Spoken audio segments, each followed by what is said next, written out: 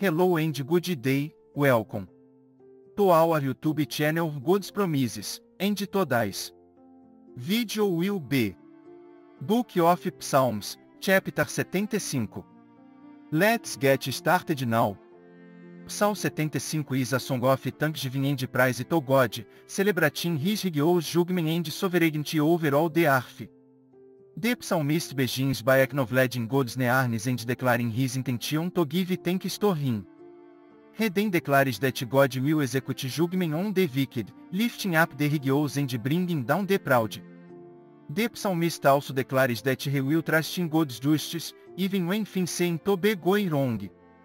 He encourages others to do the same, reminding them that it is God who judges and exalts.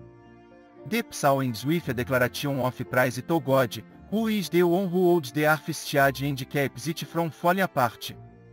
The teaching application of Psalm 75 is that we should trust in God's justice and sovereignty, even when it seems like the wicked are prospering and the righteous are suffering.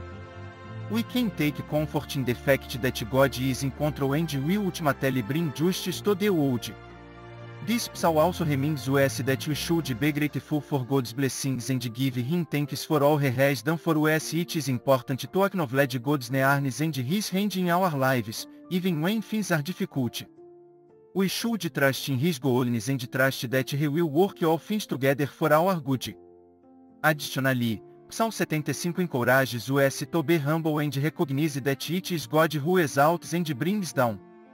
We should not be proud or seek to elevate ourselves, but instead trust in God to lift us up according to His will. Finally, Psalm 75 reminds us of God's sovereignty over all the earth. He holds the world together and keeps it from falling apart this should give us comfort and assurance that no matter what happens in the world, God is in control and working all things for His purposes. In summary, teaching application of Psalm 75 is to trust in God's justice and sovereignty, give Him thanks for His blessings, be humble and recognize His power to exalt and bring down, and take comfort in His sovereignty over all the earth.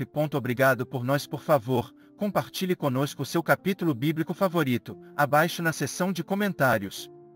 Não se esqueça de curtir e se inscrever, isso realmente ajuda nosso canal a crescer. Espero vê-lo de volta aqui para o nosso próximo vídeo.